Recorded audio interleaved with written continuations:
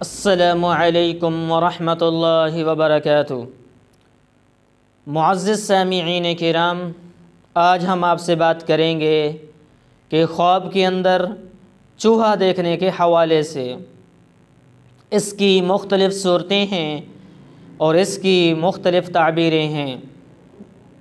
अगर आप उन तमाम सूरतों की ताबीरें जानना चाहते हैं तो आप इस वीडियो को आखिर तक लाजमी देखें। और अगर आपने अभी तक हमारे चैनल मौलाना मुजीब रहमान ऑफिशियल को सब्सक्राइब नहीं किया तो इसे भी सब्सक्राइब फरमा लें और साथ लगे घंटी के बटन को भी क्लिक कर दें, ताकि आप तक हमारी नई वीडियो की अपडेट जो है, वो टाइम टू टाइम पहुँचती रहे।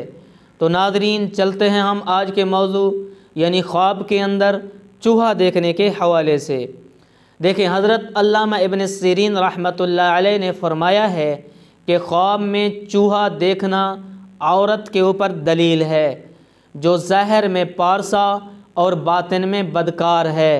और अगर ख्वाब के अंदर देखे कि चूहे को पकड़ा है या किसी को किसी ने चूहा दिया है या उसको किसी ने चूहा दिया है तो दलील है कि मज़कूरा बाला सिफत की औरत करेगा और अगर ख्वाब के अंदर देखे कि उसने चूहे को तबले में पकड़ा है तो दलील है कि मकर हीला से औरत करेगा।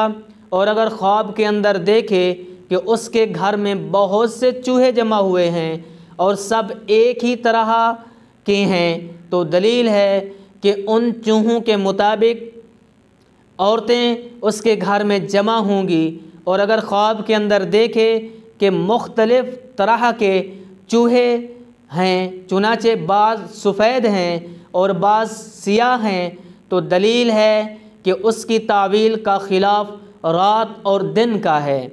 हदीस पाक में आता है, नबी करीम सल्लल्लाहु अलैहि वसल्लम ने फरमाया कि रात और दिन, रात और दिन दो चूहे हैं। कितने? दो चूहे हैं जो लोगों की उम्र को कतरते हैं, यानी कि काट रहे हैं।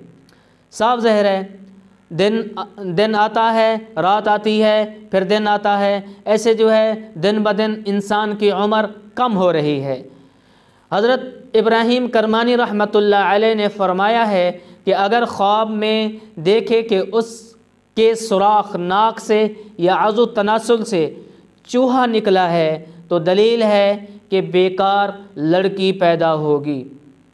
अगर आप भी हमसे किसी ख्वाब की ताबीर पूछना चाहते हैं, कोई मसला पूछना चाहते हैं, या आप अपने बच्चों को हमारे पास ऑनलाइन कुरान करीम की तालीम दिलवाना चाहते हैं, तर्जमे के साथ, तफसीर के साथ तो आप जो है मेरे व्हाट्सअप नंबर के ऊपर रबता कर सकते हैं। मैं अपना व्हाट्सअप नंबर अपनी वीडियो के नीचे दे दूँगा और वीडियो को लाइक करना ना भूलिएगा।